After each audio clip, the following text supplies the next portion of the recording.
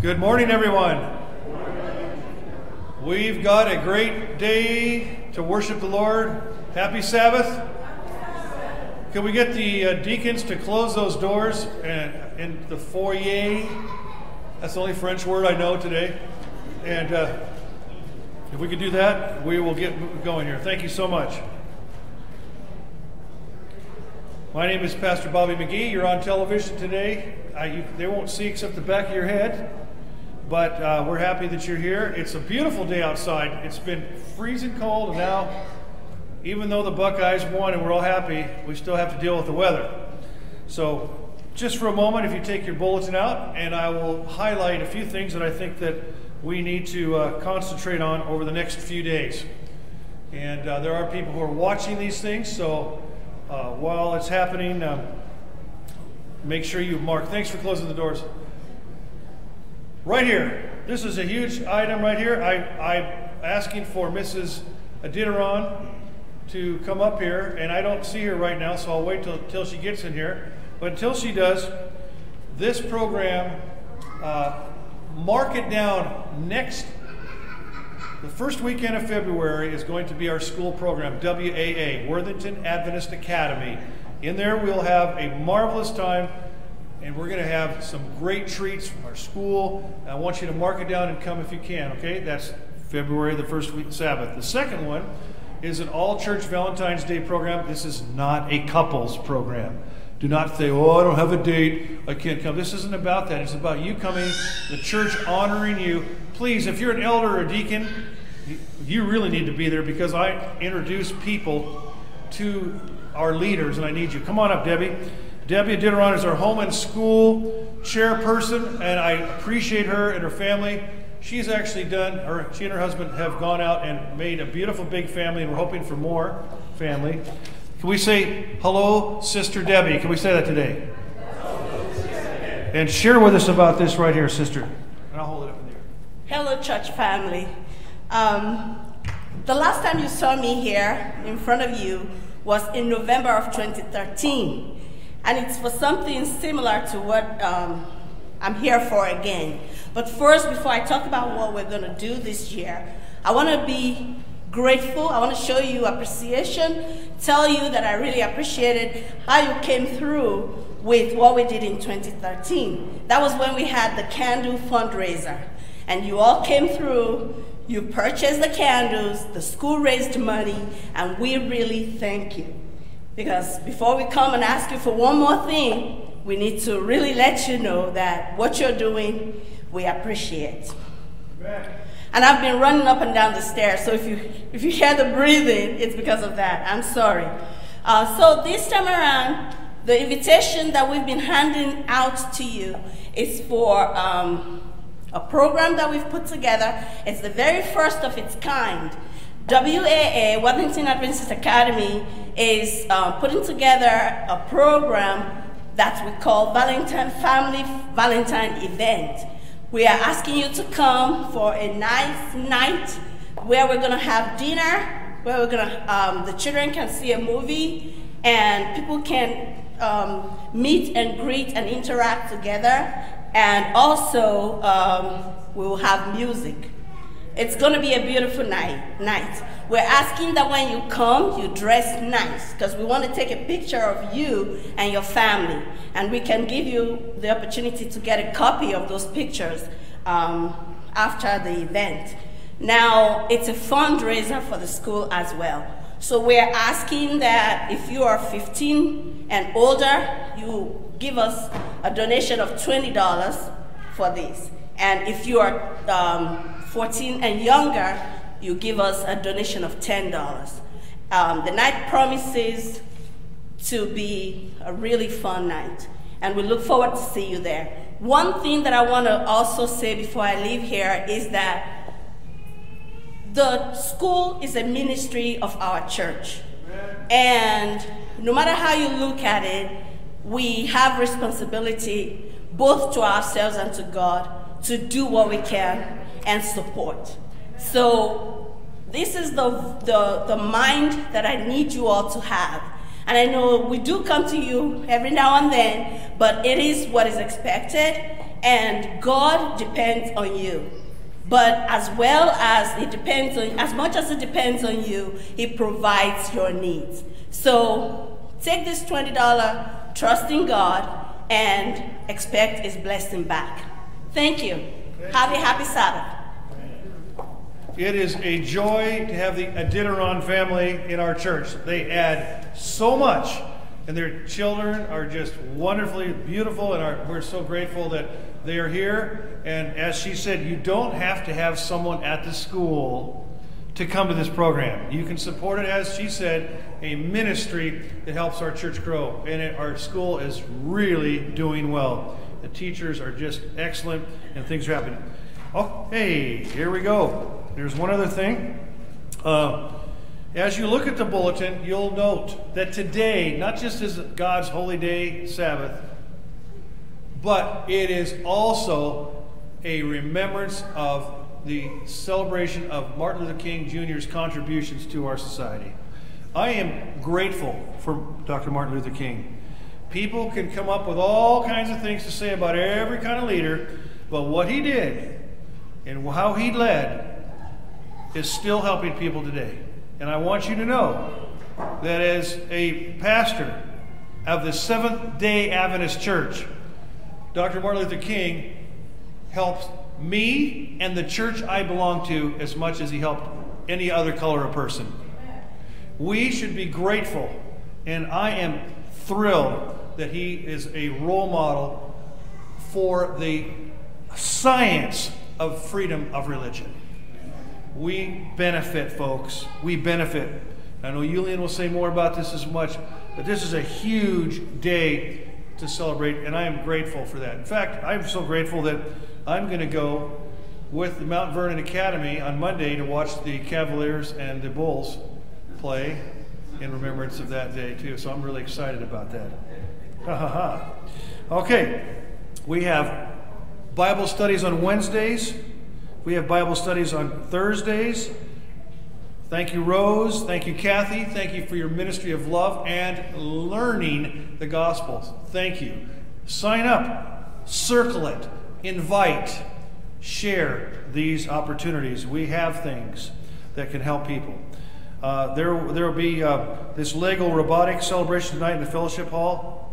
Huge Lego robotics. Our kids at our school get to know more about some of the cutting edge things in math, science, and because of our school. Because Sherry Babcock and others. So, man, I'm excited to know these kids are learning, and we should be very proud of that happening. Okay, now I know that you guys are writing things down, but today, if you're wondering why the choir is not here, our dear brother, our dear brother George is not feeling well today. So we'll pray for him maybe draw him a little little line and say uh, and say sorry they're not feeling well. So none of us are feel confident enough to direct the choir in his stead. So we're going to save you from that, but he'll he'll be back. Hopefully he'll be back. Okay, another thing that before is can we sing can we sing the song first? And uh, we're going to sing this song, but I want you to know that there's a lady named Hilda Addison and her daughter that just happened to sneak in over there. They sneaked in but they're not sneaking in anymore. Can we give them a big hand for coming back and visit us right over there? Thank you very much. We would, we miss you. We know that you live close to another church. We don't forgive you, however, but we still love you. Okay. But thanks for being here today. Maybe you'll, maybe uh, if, if enough people come up, we won't let you leave. Okay. But at this time, we're going to share a little bit of, of, uh, of our family of God here. Okay. Let's stand up. Make somebody grab the hill over there. I'm so glad.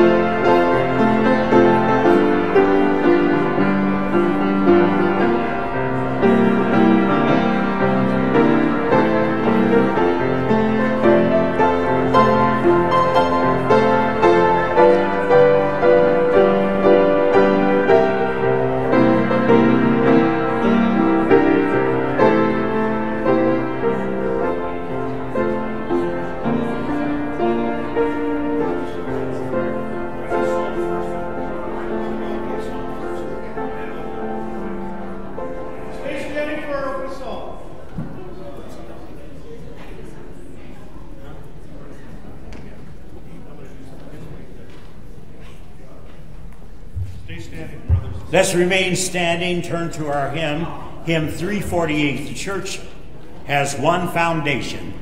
The church has one foundation. Everyone, sing with me.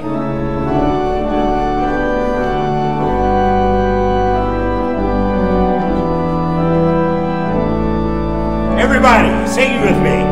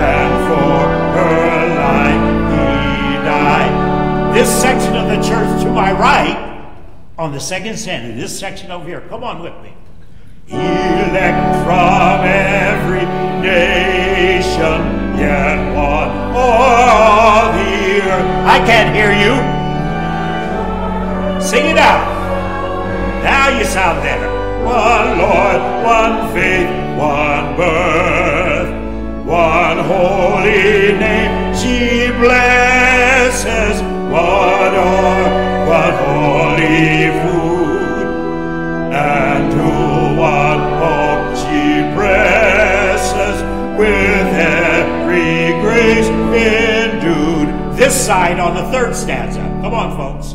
Through with a scornful wonder, men seek her sore oppress. Though foes would rend asunder the rock where she doth rest, yet saints their faith are keeping. Their cry goes up, how long? And soon the night of weeping shall be the morn of song. Everybody sing it now. In toil and tribulation and tumult of her beautiful, sing it out.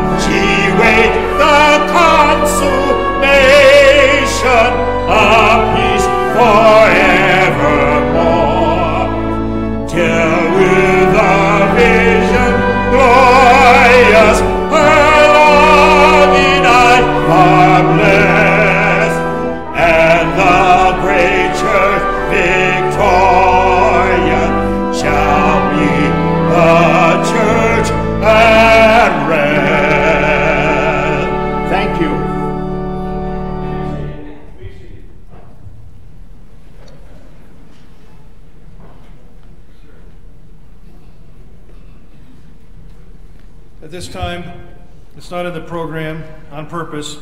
We're having a special uh, awareness also, not only of Martin Luther King Jr. and the Sabbath, but it's awareness of a great man that's a lot older. And he's had a birthday yesterday. His name is Yulian Filipov. And uh, we're going to ask Yulian and his wife to come up here. And I'm, I want somebody with a camera, or several people with cameras, because uh, he's going to want to have a picture of this, okay? And uh, you know, I've always got something in store for someone. And Carolyn, you're going to come over here in just a minute too. Uh, we have two gifts for him today.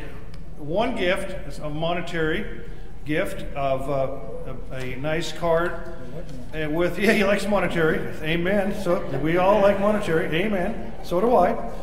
Your card here, we gave it to him in the first service, and it's the same card, Julian. Now, if you can remember, for the for our TV viewing audience, I'd like you to say the exact same words about how you feel about the people here, and uh, in this card, and you can recognize it. But before that, we have a, an even greater gift that the first service they, they they didn't get it, and it's not anyone's fault except for just the way life is. So. I'd like to bring the even greater gift out today. If you turn to your uh, right there. Oh.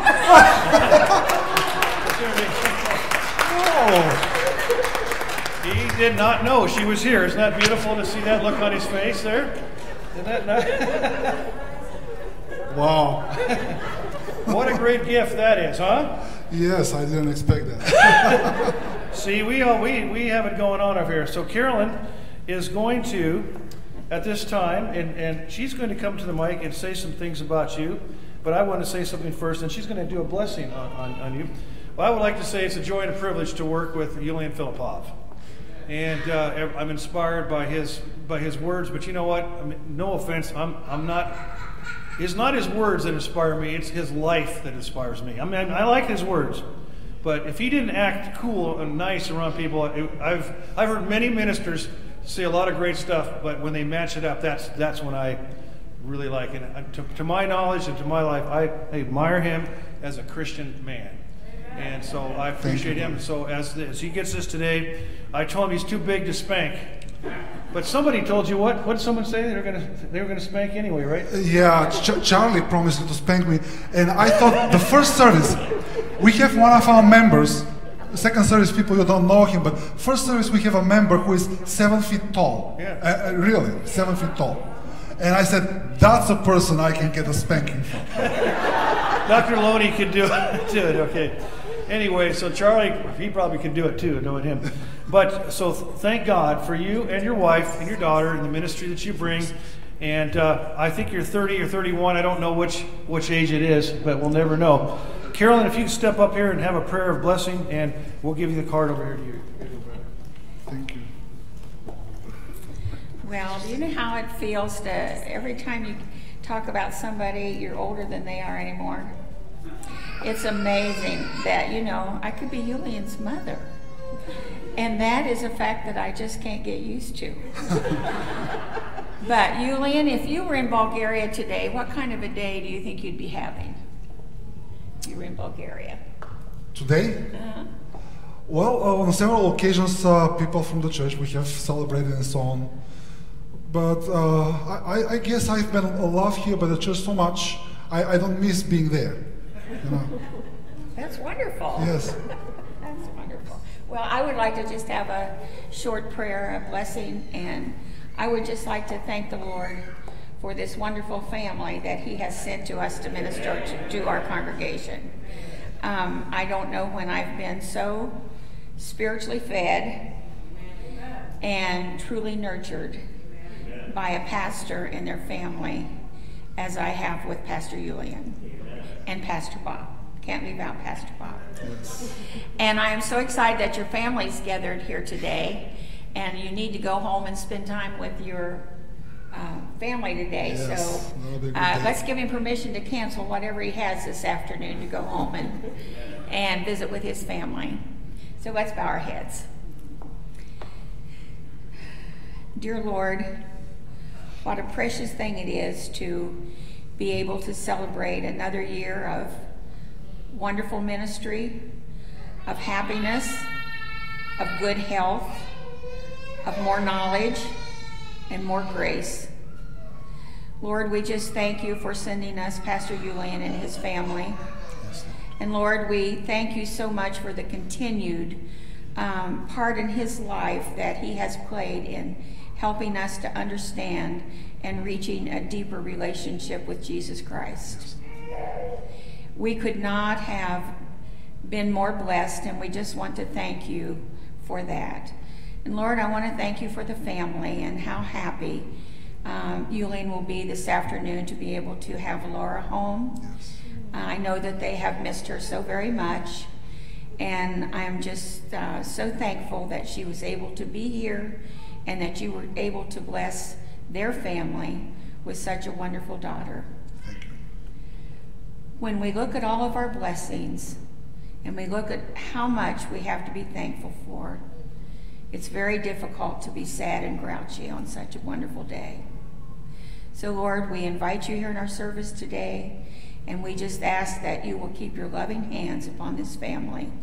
And I want to thank you for this church family and congregation that has helped them to feel so at home in our church and in this country. Yes. Amen. Amen. Thank you, Carolyn. Happy surprise. yeah, thank you. Uh, well, I would like to say a few words. Know that I will not have the chance to, to say even more words uh, in a sermon, but here on the card it says, uh, Your church family loves you. And you know what? I know it. And, and it's a very good thing uh, for the person to whom you say, I love you, to know it. And I know it, and I recognize that. I've seen it so many times. In uh, the time I spent together with you in your homes, or eating out, or uh, just visiting together, or even visiting you in the hospital. And I would like to tell uh, something. Uh, uh, it sounds today like I'm a kind of a great person and so on. There is not a single person that is great unless he or she surrounded himself or herself with great people. And I'm only as great as you are great around me. You enhance my ministry in so many ways. Thank you, Carolyn. Thank you, Bobby, Robin, and every single one. I, I, I, I'm, I'm afraid if I start mentioning names, I'm going to miss some of you. Each one of you, in some unique way, enhances uh, our ministry. And I'm so thankful for that. And uh, lastly, I would like just to say that uh, even though uh, I appreciate what you do for me, uh, in the heart of my hearts, I realize that I'm only Jesus' donkey. And he's riding victorious, and uh, all these applauses and all this recognition, I realize, is because of him. I, I would have not been a pastor if, if, if it were not for him. I would have not been called in the ministry if it were not for him. So all your applauses ultimately go uh, up to him because he created me. he uh, called me into ministry. He was the one wooing me into a relationship with him. So uh, I'm glad and privileged to be Jesus' donkey and today also to bring again to you God's message. So my God bless you all and thank you so much for your love and support. Carol, two, two times and Got a song of dedication. After the song of dedication today, the children will be meeting with myself and my wife right over in the fellowship hall. So children, we've got a great children's church for you today. And I hope that your parents will be able to allow you to come over there and we'll, have some, some crafts, some goodies, and some Bible time so right over the fellowship hall. Here's the song for you, Lillian, today. We dedicate this song to you. I know that you'll you want to look at the words and come along and sing. It's okay, all? Right Música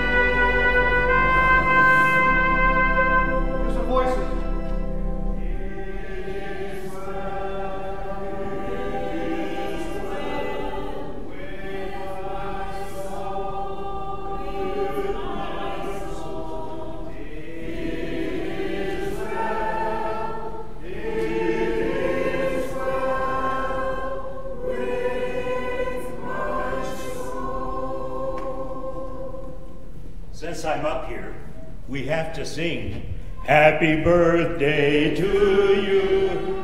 Happy birthday to you. Happy birthday, dear Yuyan. Happy birthday to you.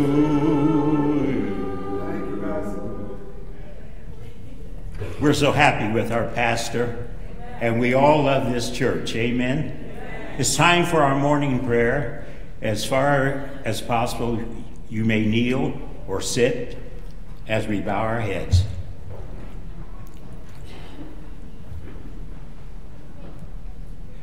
Father in heaven, thank you so much for the Sabbath. You instituted it so many, many years ago for us to come aside and to meditate on you and your goodness. Thank you for all the people that are here this morning and those that are ill, Lord. Please bless them. George, our choir director, Tom Esman, Rose Abbott, and all the other people that are having their infirmities and problems. Lord, step in, be with them, be with their families. And Lord, we pray for the day that we can all be with you in heaven where there's no more sorrow, no tomorrow, no more pain, nor anything else that would take away from our glorification of you. In your Son's name we pray. Amen. Amen. At this time, would the deacons come forward for the offering?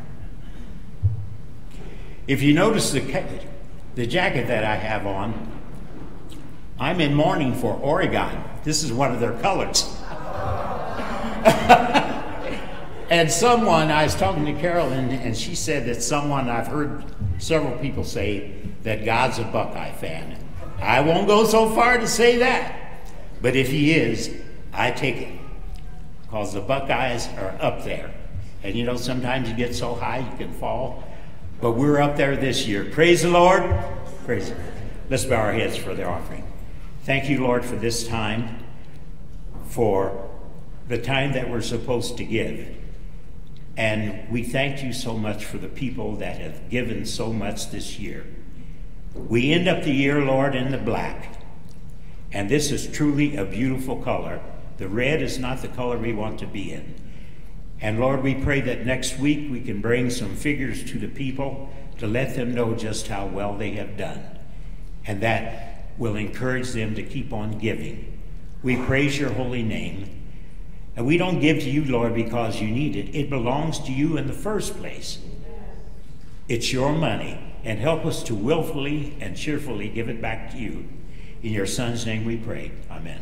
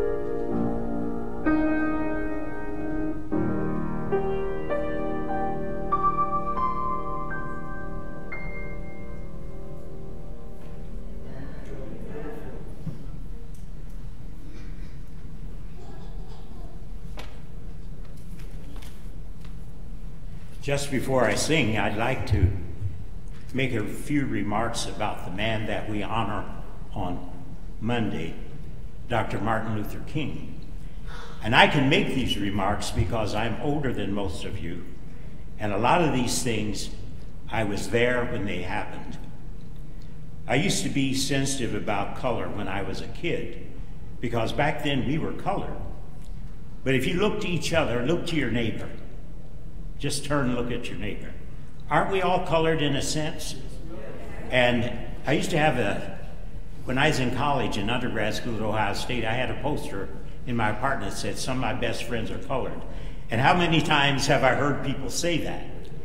And last Sunday, when I was out for two and a half hours with uh, Kevin and Rafi and a couple of people directing traffic, one of the ladies said to me, said, You're going to turn into an icicle.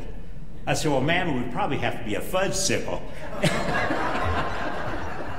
and she, at, at first she didn't get it, but she laughed and I said, hey, it's fine, you know?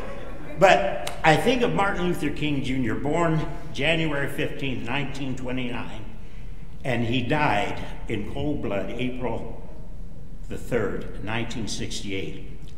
He was a proponent of civil rights, nonviolence, of all the things this man did. He never raised a fist. He never did any, no slurs, no anything. He was truly a proponent of nonviolence. And 15 years after, after he was assassinated, they finally, uh, legislation gave us the third uh, Monday in January to celebrate Martin Luther King's birthday. And then they gave us February, the shortest month in the year for Black History Month, but that's okay. We'll take it. You guys get the other ones. but he was born of a Baptist minister, and he became a minister himself.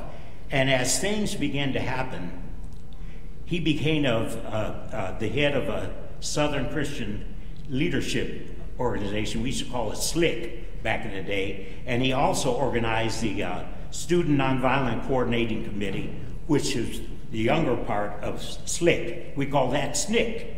And the reason why, because I was, back in the day, I donned my beret, my jean jacket, my Levi's, and I became a part of those people who were supposed to be nice to people, but it always wasn't that way. The Black Panthers. However, he continued on with all the things that should have been done in a nonviolent way. Now, some of the things I couldn't understand as a kid, first of all, why were we colored? Because everybody has a color. I couldn't understand when I went to Woolworths with my mother to get a hot dog and a Coke and sit at the counter, the lady says, You can't sit there.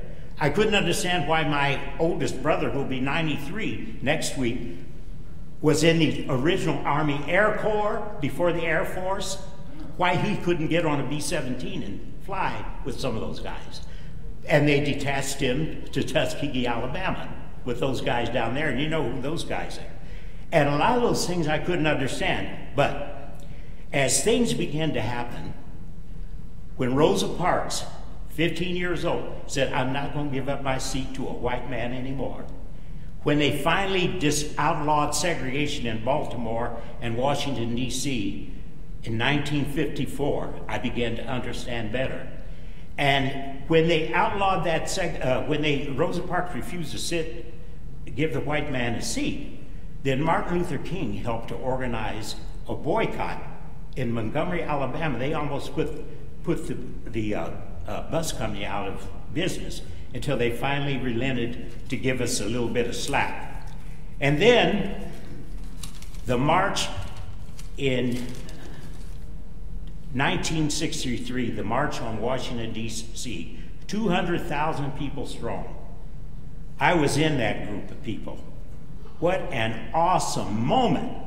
And as Dr. King began to speak, he got that old Baptist uh, in his voice. And I, he says, I have a dream. And he talked about having a dream where his children would be judged not by the color of their skin, but by their character. And in all those years, the Civil Rights Bill was pushed through. Remember the Arkansas kids, that the nine that went into the school? They're still alive, and all the people that were against them are dead. And then all of these things happened. He was there until he was finally assassinated in cold blood. But I remember a lot of the things that happened. I remember at that Freedom March when he said some, some of the things that he said. We were downtown towards the White House, and I tell you, I could feel the earth move under my feet. It was just so unanimously loud there, to, uh, for lack of a better term. But the thing is, it was unfortunate that President Kennedy was assassinated a few months after that.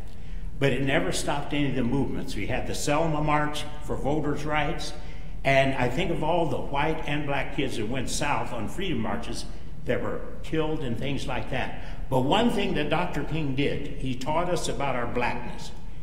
We left that colored phase and went to black. We got rid of that old straight Congolene hair, and I had a huge fro.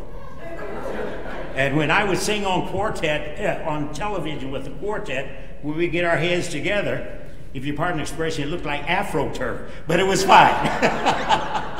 but we had our froze and things like that, and we became a people that knew who we were. And then I never met Dr. King face to face, but I, after the riots were over, and after Resurrection City, I don't know whether you people remember the tent city for poverty and so forth in Potomac Park downtown. They organized a group of black males, 100 strong. We sang on the steps of the Lincoln Memorial, Randall Thompson's Testament of Freedom. And we also went to Constitution Hall to sing it. Dr. King's wife was there, and she wanted to meet some of us. And I was one of the people that was able to go and meet her. And I have a book at home, autographed by her, that, and she said to me, she said, Martin would be proud of you guys. And I still have that book at home. But I remember in Resurrection City, one of the things that one of the old black ladies said from Mississippi, she said, Mister, if these people don't get the love of Jesus in their hearts, we'll never have equality on this earth. And that's true. And this is the thing that we have to think about today as we think of his birthday and the celebration of it. What this man did. He's a Nobel Prize, win, Prize winner. And all the things that people should do, he did, instead of fighting, cussing, and everything like that. And I remember the end of his speech when he said that someday we can sing the old slave song, which we will be able to sing when our Lord and Savior Jesus Christ comes. Help me with it. Free at last, free at last. Thank God Almighty, I'm. There you go. Amen.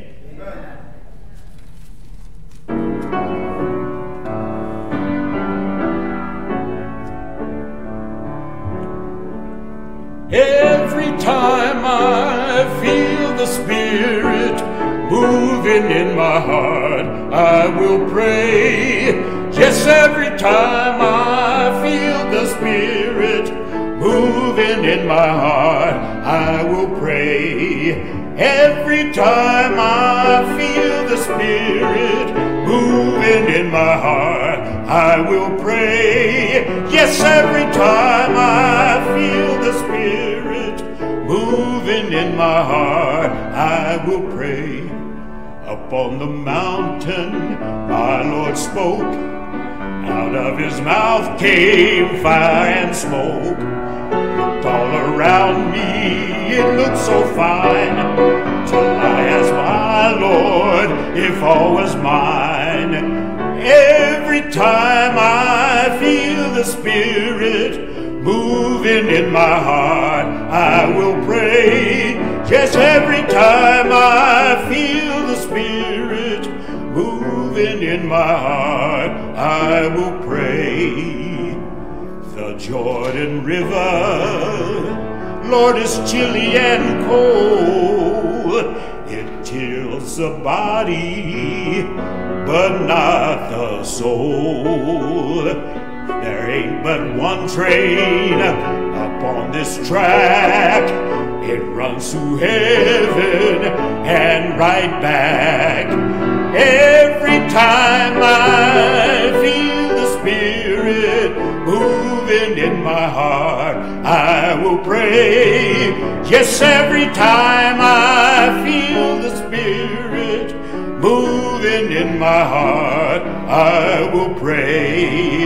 Every time I feel the Spirit moving in my heart, I will pray. Yes, every time I feel the Spirit moving in my heart, I will pray. I will pray.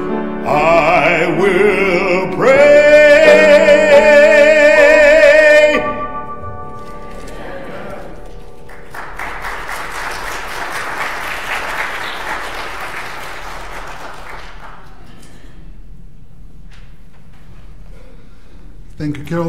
you, Bob, for giving us this uh, wonderful introduction into the uh, Martin Luther King uh, story and what actually happened for those of you who have not been around when all these things uh, were happening here.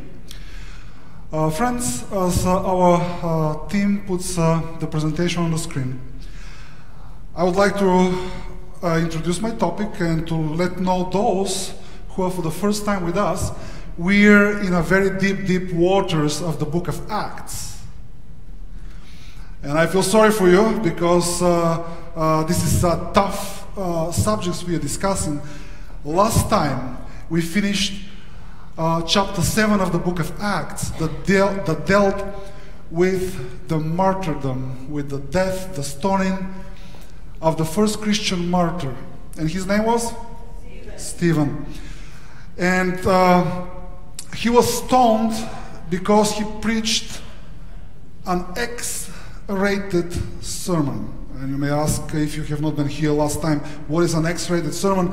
Uh, if we have to rate the sermons as they rate uh, the movies in the movie theater, uh, G rated sermons will be appropriate for the general public. Everybody likes this type of sermons. And the moment they walk out of the doors, they already have forgotten what the sermon is all about. These sermons do not offend anyone, but do not comfort anyone either. And you know, uh, definition of a true sermon is you feed the flock and rebuke the goats. So, uh, these were the G-rated sermons. Everybody is happy. It was a good sermon. What was all about? Uh, I don't remember. The next type of uh, rating is uh, PG sermons.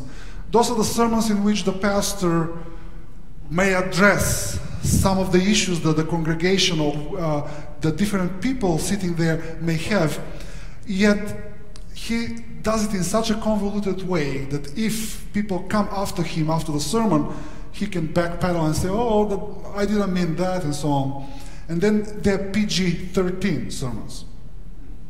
Those are a little bit rougher and tougher where the pastor does not backpedal after the sermon. And then there are rated sermons. These are the sermons in which the pastor tells the things the way they are. People get offended. They go home and say, This pastor has a really poor taste. He does not understand how things, uh, things work. He is not politically correct. We may not uh, increase his salary. Fortunately for me, uh, the local congregation that you do not vote my salary. My salary is uh, uh, voted by the North American division. So, but then they are X-rated sermons. Those are the sermons which the pastor preaches with his suitcase packed next to him and the moving van waiting outside. Uh, the responses after this type of sermons are horrible. Who in the world ordained this guy? He does, he's not worthy of being a minister. Away with him. And chapter 7 of Acts tells us that Stephen preached exactly such a sermon. After the sermon, he was heaven bound because they stoned him. So today we're going to continue with chapter 8. But before we do so, I would like to go back to chapter 1 of the book of Acts. Do you know they often say that the last words of a person are the most important words in his life or her life? And do you know what are the last words of Jesus? The last words before he ascended to heaven, before he left us. Here they are. But you shall receive power when the Holy Spirit has come upon you, and you shall be what? Witnesses for me. Where? In Jerusalem, then Judea, Samaria, and to the end of the earth. These were the last words of Jesus. And did you know that from chapter 1 till chapter 7, the disciples lingered within their comfort zone? They stayed in Jerusalem. For three and a half years, they didn't move anywhere. They didn't go to Judea, they didn't go to Samaria. They didn't want to leave their comfort zone. The outreach of the church actually was so local that if they have continued this way, probably, and if God didn't stir uh, the early church and didn't rock the boat, probably today you and I would have been still pagan. Because the disciples liked their comfort zone, they liked staying in Jerusalem. If it were not for the death of Stephen and for the organized persecution that followed, the gospel probably would have never spread through Judea and especially through Samaria because the Jewish people hated Samaritans. This was the, the hood of back then. This was the place where Jewish people didn't go. And Jesus said, You don't want to go? I'm going to rock your boat because you have to go. I have my people there. So, the gospel might have never reached even to you and me today if it were not for the martyrdom of Stephen. So, today, I would like us to learn five lessons. Together, we're going to learn five lessons from the persecuted church. And I've titled my message today, Dare to be the Church. So please open your Bibles together with me to the book of Acts, chapter uh, 8. The book of Acts, chapter 8. And I would like someone to lift up uh, his or her hand. And I'll need someone to help me out with uh, the microphone. Let me turn this on. And I would like to hear the Word of God read by you. Let's hear Acts chapter 8, verses 1 through 4.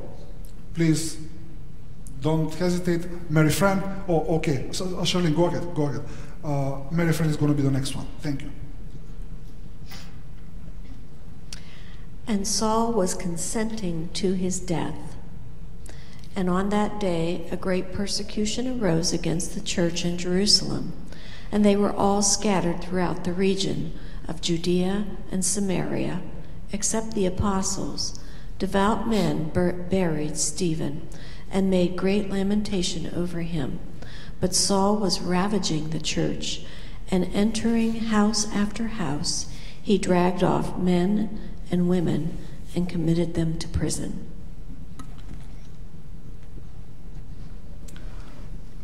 And one more, verse 4.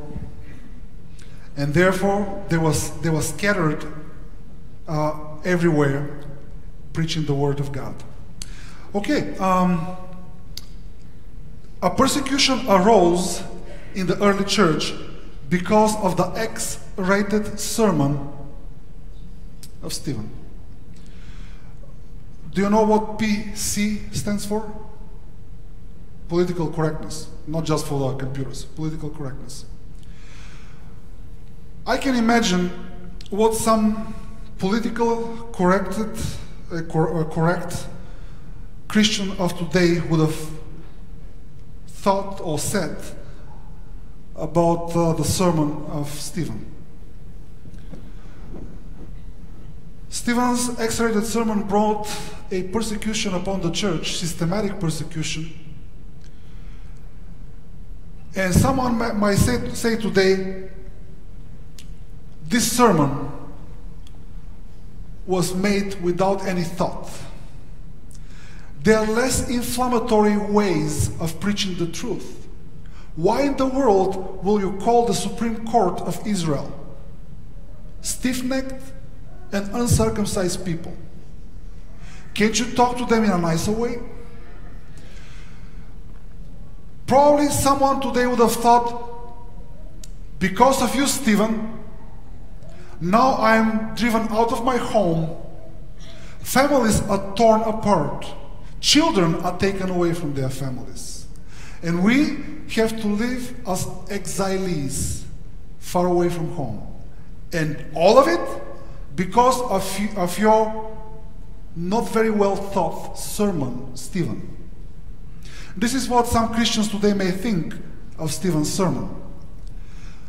But when you read the Bible, you don't see a single accusation or grumbling on the part of the other Christians. They didn't blame Stephen. As a matter of fact, they gave him a very honorable funeral. Funeral with honor of a stoned person by the Talmud is forbidden.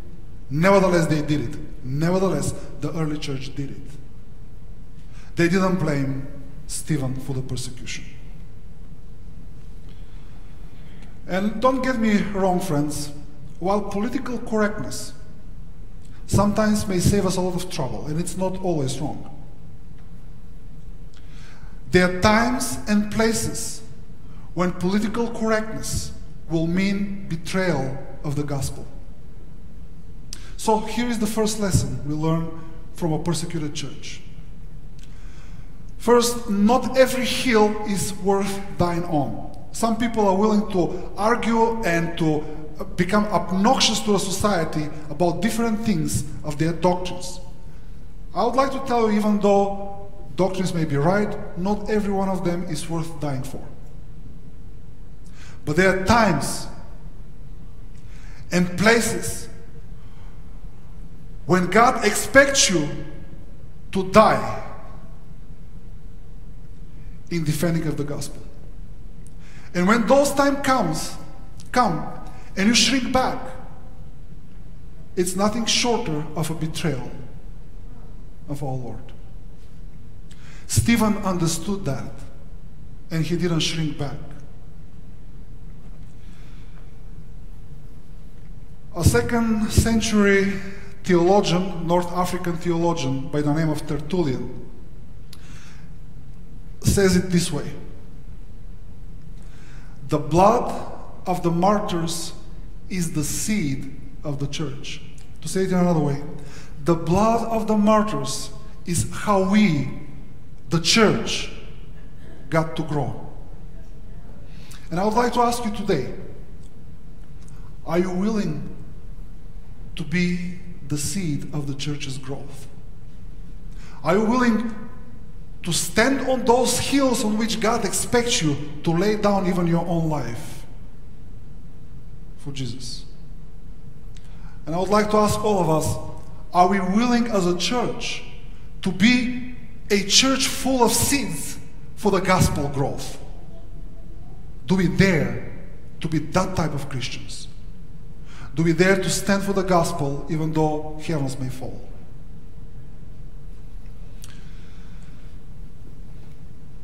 And then I would like to take you to verse 4. Let's uh, concentrate on what happened when the uh, disciples were driven out of Jerusalem. It says, Those who were scattered went everywhere doing what? Preaching the word. I would like to talk about two Greek words that are really important here in this verse. The word for scattered in Greek is diaspero, and diaspero is the word for sowing seeds, for scattering seeds in the field. When persecution came, suddenly the seeds, the Christians, were spread all over. And together with the Christians, what was spread also? Preaching the word. Actually, in Greek is evangelizo. They evangelized everywhere they went because they were changed by the presence of Christ. They became seeds that were germinating with the grace of Christ. Everywhere they, they went, they were spreading the word about Jesus. Let me tell it in another way. It is impossible to be touched, to be transformed by the presence of Jesus, and to not touch and transform lives of others. Maybe not all of them are going to be changed, but someone is going to respond. If the, the seed of God is germinating and growing within you, you're going to influence others. It's impossible to be a Christian and to not change someone. And here, I would like to tell you something that probably is not going to be, be very palatable to us Westerners. God made persecution and suffering serve the Great Commission. Persecution spread the gospel to places where the disciples would not go on their own. And would you please, please listen to me? I would like to talk to you. Persecution, inconveniences may send you to places you would have never chosen for yourself to go. I guess none of us chooses to be a patient in a hospital. Many of us will never choose for themselves to be bankrupt. Many of us will never choose for ourselves to be homeless and to lose our homes, to lose our security. Yet sometimes God uses this spiritual and material crisis in our lives to send us to places we would have not gone on our own. When was the last time you visited someone in a hospital? Just to go there and encourage him or her. When was the last time you went to the places where people do not have homes? And not all of them are junkies, not all of them are homeless because they were not prudent. When was the last time you talked to someone who was without a job and lifted up his or her spirit? Does God need to take the blessings away from you so that you'll go to places where otherwise you'll not go? God definitely had to rock the boat of the early church so that they'll go to places they will not choose to go on their own. So here is the second lesson. It's a tremendous lesson. Please listen way, well and contemplate well and take it by heart. History shows us that comfort, ease, safety, and freedom often bring with these blessings complacency and spiritual apathy in the church. I've seen people during the time of communism who stood firm as rock for the gospel. When they were persecuted, when they were under pressure, and when the freedom and good times came, they stopped preaching the gospel, they stopped influencing people, they stopped going to the places where they would have not gone naturally. And I have a question for you. Are the blessings that God is giving you hindering you in being the Christian that God has called you to be? You remember the last words of Jesus Go and be my witnesses everywhere.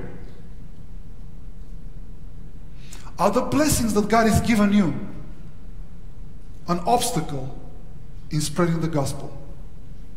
Have we become so complacent and so comfortable in our own shoes, in our own places, that nothing short of persecution, of spiritual, emotional, personal crisis, of sickness, and so on will bring us out of our comfort zone?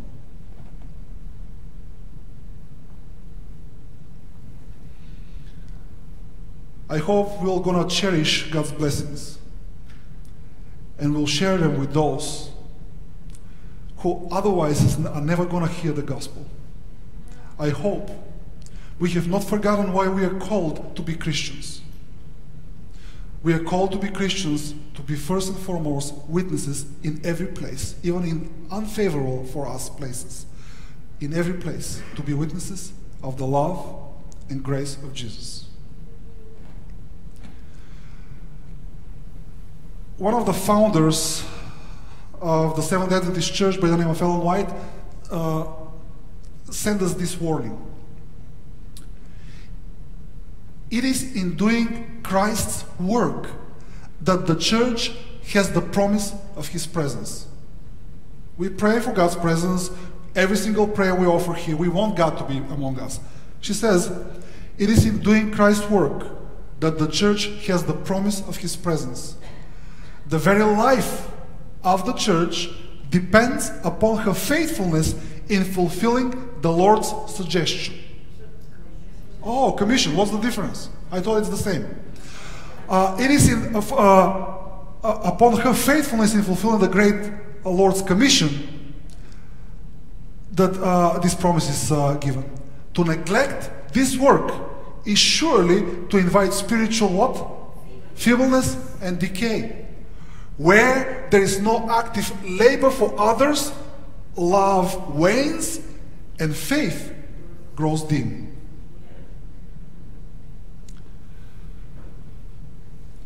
And then let's uh, learn a third lesson from a persecuted church. As for Saul, he made what of the church? Havoc. I would like to talk to you a little bit about this word, and especially about the Greek word that is translated in English as havoc. The Greek word lumino literally means a wild beast ravaging and tearing things apart. And uh, in the Greek text of the Old Testament, in the Septuagint, in Psalm 80, verse 13 in the English Bible, uh, we have the same word used for a wild boar ravaging through the woods and tearing at the roots of the trees and knocking them down. So, this is who Saul was for the early church a wild, ravaging beast. The zealous Pharisee was the enemy number one of the early church. Do you know what other name is this guy Saul known by? Paul. And Paul is the author who wrote 14 out of the 20, 27 books of the New Testament. You take Saul or Paul away, and you have half of the New Testament. Do you remember that the last words of a person are one of the most important things that he has to say in life? Do you know what were the last words of Stephen as he, were, uh, he was being stoned? Lord, forgive them this sin. He was praying for those who were killing him. And one of the people standing there and killing him was Saul, who later became Paul. And here is the third lesson, friends. The gospel has a tremendous power, more than you can imagine. The gospel has the power to turn our worst enemies in our best friends. So please don't you ever give up on your enemies. I hope you're praying for your enemies because if you're not, you're wasting one of the greatest opportunities that you may have in your life to find your best friend, to find someone who is the best servant of the Lord in the gospel. I hope you take time to pray for the enemies. And I know that for some of us, or some of us here, our worst enemies are within our families. Do you pray for them? Because let me tell you, you may have given up on them long ago. You may think that they are unchangeable, unconvertible, unrepentable. And yet, God says, You know nothing about my power to change human hearts. And I'm so thankful that Stephen prayed for Saul and all who were killing him. I don't say that every one of your enemies is going to become your best friend, but some will if you pray. And you know what? This is one of the most amazing things about the, the, the Bible. I'm yearning, I'm looking for it. And I'm gonna, I, I want God to put me at the same place where He's gonna resurrect Stephen and Paul. I want to see the jaw of Stephen dropping and hitting the floor. when he sees Paul, when he sees Saul, the most honored of all the people in heaven. You know, I want to be there when God resurrects uh, after in the day of his coming David, Bathsheba, and Uriah. I want to hear this conversation, don't you? I want to hear how God is able to heal absolutely unhealable wounds in, in the human heart. So don't you ever give up on Him. Don't you ever give up on the people that look unsavable, unreachable, because God has a lot in store for them. And He will listen to your prayer, believe me.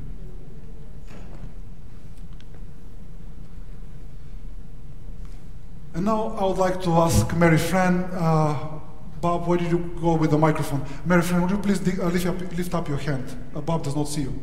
Here, uh, Bob, on the first row. And let's hear Acts chapter 5, uh, Acts chapter 8, verses 5 through 8. Acts chapter 8, verses 5 through 8.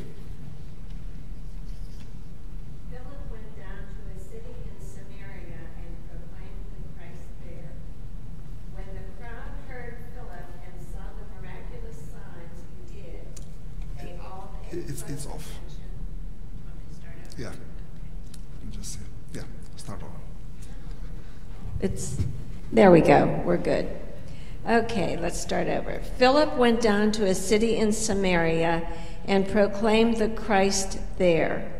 When the crowds heard Philip and saw the miraculous signs he did, they all paid close attention to what he said. With shrieks, evil spirits came out of many, and many paralytics and cripples were healed. So there was great joy in that city. Thank you, Mary Fran. So, uh, this is Philip. And let me tell you, this is not Philip the apostle, this is Philip the deacon. Because all the apostles stayed in Jerusalem. Now, Philip was from a minority who spoke Hebrew with a Greek accent. He was looked down upon by the other Jewish people as a second class Hebrew. And now that he has become even Christian, he was looked upon as a third class citizen of Jerusalem. And he is the first one who braves the storm to not go to Judea, but to go to Samaria because the Samaritans were the most despised people by the Jewish, by the Jewish people. They were considered half breed. And Stephen, uh, I mean, uh, Philip, Philip thinks to himself, I know how, it, how they feel. I feel the same. I feel like a third class citizen in, in my own home. I'm going to go to these people. And he went. Now, I would like again to ask you, what was the church's position of Philip? Was he an elder? Was he a preacher? Was he, what, what, was he? A deacon. Now, he was one of the seven deacons who was ordained, do you remember for what purpose? To serve tables. Yet, when he went to Samaria, what was he doing there? Preaching first the gospel and then helping people.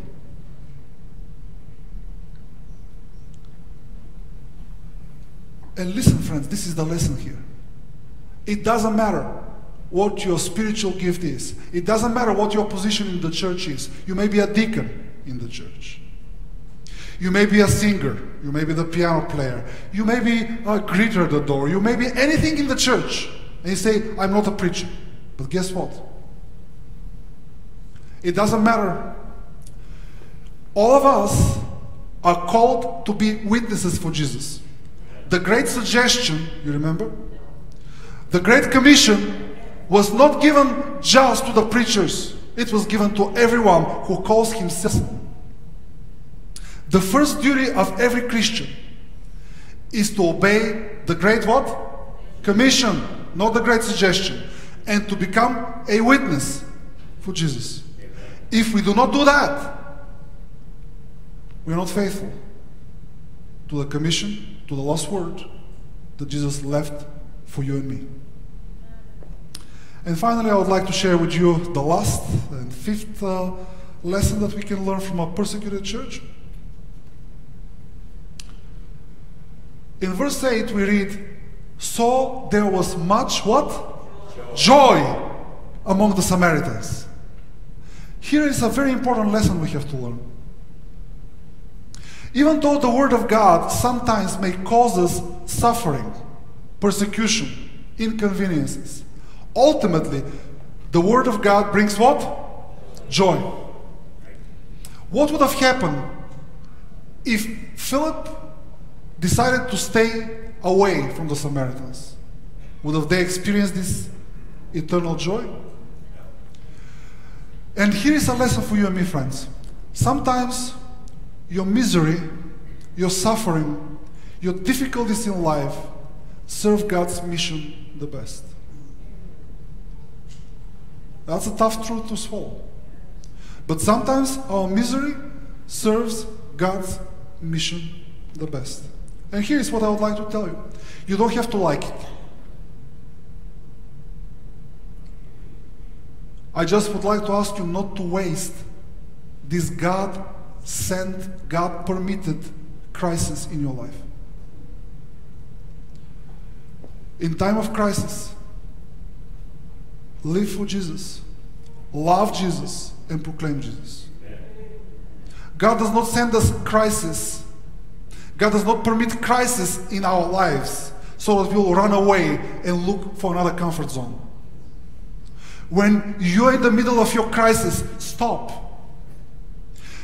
Kneel down and ask God, God, how do you want me to proclaim you? How do you want me to live for you through my crisis? How do you want me to take advantage of it and not to waste it? And here is the fifth lesson for all of us don't waste a God sent crisis. Turn your pain into praises and your oppositions and oppressions into opportunities. Sometimes people are going to learn the gospel only when we go through some miseries. Sometimes by getting to the hospital, not as a visitor, but as a patient, we're going to have access to people we are not going to be able to reach ever. Sometimes when we lose the comfort of our home and we lose our home and uh, we get to mingle with people who also have lost their homes. And suddenly, we're ministering in a place we would have not gone on our own accord. When this happens, don't waste a crisis. Live, love, and proclaim Jesus. So, at the end of this uh, message, dare to be the church? Well, just my wife uh, amens me probably just to support me, not to feel discouraged. Guys, it's a difficult message. Don't think that I'll enjoy preaching it. It's simply in the sequence of what we are studying. Otherwise, I probably would have skipped it. Do you dare to be the church? And that means to believe, to belong, to get, to get together with other people from the church, to become what God has called you to be. And finally, to be sent to the, God, to the, to the people God wants you to save. Would you please help me out and take out of your bulletin this yellow connection card?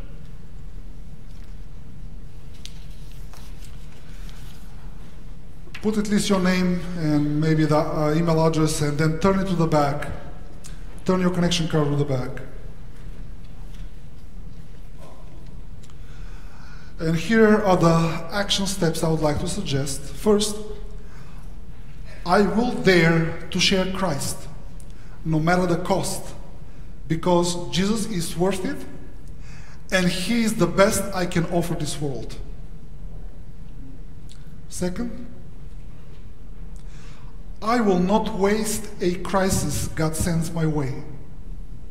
With His help, I will turn each crisis into an opportunity to proclaim Jesus and to grow in His grace. And lastly, I don't want to be half baked Christian. I want to see people around me changing for good because of the Holy Spirit's power in me and in my church. May God bless us in this decision making May God bless us to dare to be the church, not just to go to church, but to be the church for someone who otherwise is never going to know anything about Jesus and his church.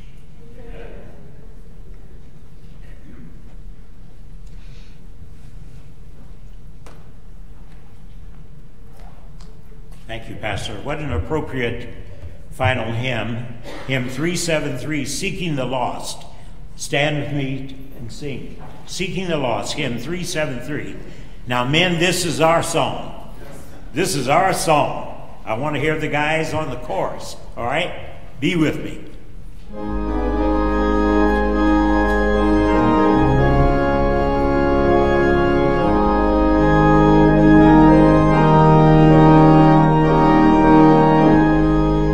Everyone. Seeking the lost, yes, kindly entreating, wandering on the mountain astray. Come unto me, message rejoicing, words of the Master speaking today. Come on, guys, going afar up on the mountain bringing the water back again into the fold of my Redeemer,